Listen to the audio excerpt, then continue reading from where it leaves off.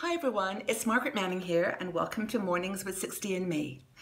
I hope that your day is off to a great start. Um, it's very sunny and bright here where I am, and looking forward to a, to a beautiful day.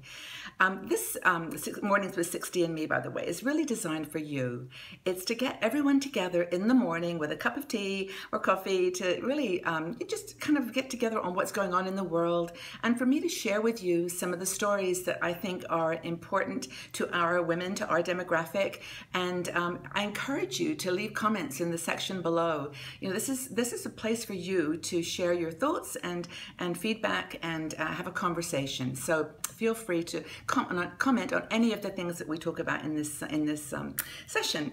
So, uh, what's going on in the world? First of all, I think I need a cup of tea. This world is just too crazy. Today, today I am drinking um, lemon ginger. It's really cool, and I love this mug, don't you? It's really cool. It's my psychedelic days. anyway, what are you drinking for tea this morning? Um, so, you know, the day is off to a good start, but the world is, is all kinds of challenges. In the UK, for um, example, the Brexit uh, fallout is still continuing. Uh, the uh, chairman of the Bank of England uh, spoke yesterday about the business impact to Brexit and uh, some of the commercial impacts in, uh, in London. In the United States, uh, there's a constant flow of, of um, information today about the elections, about um, uh, issues related to social problems, and uh, you know just kind of the complexities of life in a place like the United States. But um, the other thing, of course, in Asia, which you may not be aware of, is that they're having a huge amount of flooding in uh, China, and uh, you know whole streets and towns are being uh, severely impacted. Hundreds of people are homeless, and there's a huge amount of damage being done. So you know, the world in all of its areas, and we have women in every single country almost in the world, I think 150, um, is, is impacted in one way or the other by this news. So, um, you know, I, I want to drill down a little bit on a couple of topics, though, that I think are of interest to us as older women. So the first thing I found an article in Huffington Post. It's actually by Carol Marak, who is one of our bloggers on 60andMe.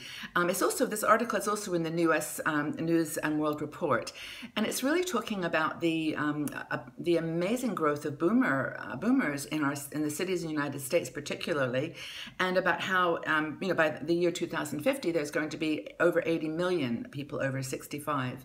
So it's a it's a becoming a real challenge for cities who are whose infrastructure um, investments are focused on you know roads and streets and homeless people and um, community issues, things that are really important, but they don't specifically address the aging population. Um, there's a, of course, all the challenges that um, elderly people face around housing and medic medical um, issues, networking, you know, being able to have a sense of community, and also, of course, um, loneliness and social isolation. So, all these things in the cities are going to be impacting the infrastructure of um, cities even more in the future. And of course, the, the point that Carol makes and the, the US News World Report makes is that there are so many people now in over 60 living alone in cities in America around the world too. And you know, for example, in uh, I think it's in Florida and in uh, Texas, um, you know, almost 800,000 people are are single. Excuse me, are seniors, and 70% are women. So there's 70% of that huge number of seniors living alone in Florida and Texas. In California, there's about 31% of the population is over 65, and again, they you know a large percentage live alone. So I think that it's really important that we um, you know we we are aware of this issue, that we do what we can on a local level to make sure that there are investments being made for housing, for um, you know transportation, medical um, help, things that you know really are going to help not just the elderly community, but the whole city and the and the um, community at large. Uh, there are some cities that are leading the way, and um, there's a little bit in this. I'll, I'll put a link to this um, article so you can read it. But it's about the um, cities like Denver that's building, um, um, uh, you know, and transport infrastructure that's really very helpful. San Diego and others, and of course there are a lot of other cities. And I'd love to know what's going on in your your towns and cities to to prepare really for this uh, growing aging community. That's us. so anyway, that's I think a really important story that I'd like to just highlight for us. Another one that's really close to my heart is a story I picked up yesterday on a, on a site called Recycling International.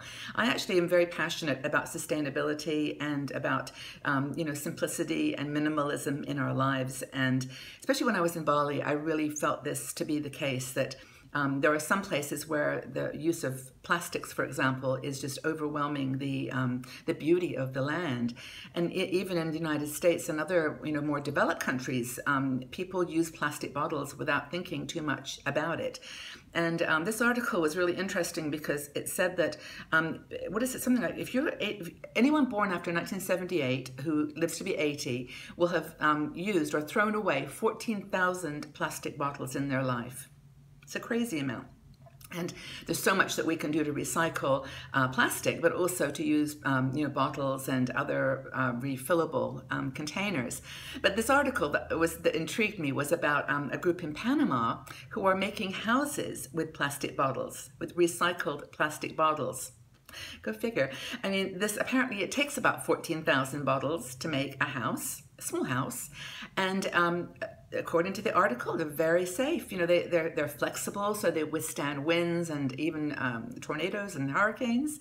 They are, um, uh, the other thing about them, they, well, they neutralize this, the negative effects of um, uh, the, the, you know, the, the, impact on the planet from the you know, toxins. It's very, very powerful what you can do with plastic bottles. So anyway, I think that um, really the conversation here is what do you do to um, simplify, reuse, recycle, uh, you know, redistribute your waste materials in your home, especially plastic. And I just kind of think it'd be interesting to live in a plastic home. Actually, I saw the picture of, of a house that's built from plastic bottles, and it's really pretty.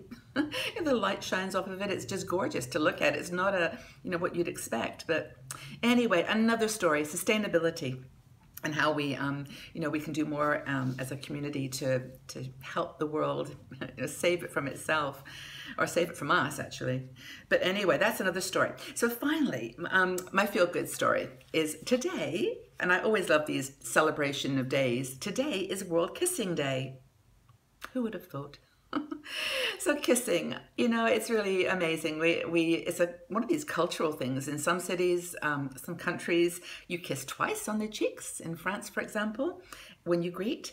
In Switzerland, it's three times you just you know just a little little peck on each side of the cheek. And of course in, the united states are big huggers so i think hugging and kissing kind of go together anyway.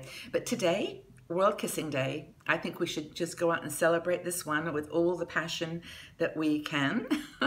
Um, I, guess you know kiss a friend kiss your family maybe kiss a stranger but um, be careful. No i just have, have a really great day celebrating world kissing day. And actually something to consider in this article that I just read is that two thirds of the people tilt their heads to the right while kissing. So I don't know. I, never really thought about it. But um, anyway, that's the story with kissing. Celebrate World Kissing Day and enjoy this beautiful day on the planet. Um, if you've got any comments about any of these topics we've talked about today, just leave them in the section below. And my question for you, because it's just been kind of on my mind uh, since I got up this morning, is what kind of tea do you like to drink? What are you a, are you a tea person? Are you a coffee person? What's your morning drink? Let's share so we have some idea of what we have in common. Oh yes, I have one more thing to share.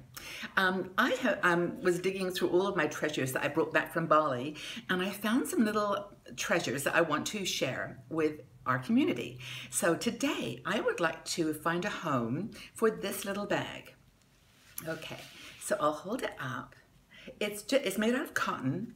I loved these. They've got a little coin attached to the end, so the drawstring is quite strong. You could put makeup in here. You could put just your you know, little treasures. You can do all kinds of things with it. So I have got one of these that I would like to, to find a new home for.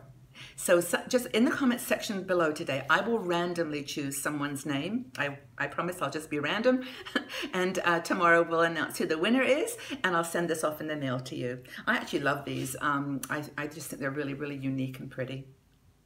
Okay, sweet. So have a wonderful day, everybody. I hope that um, whatever is happening in your life today brings you happiness and joy. And I look forward to talking to you all again tomorrow. Take good care, everyone. Bye-bye.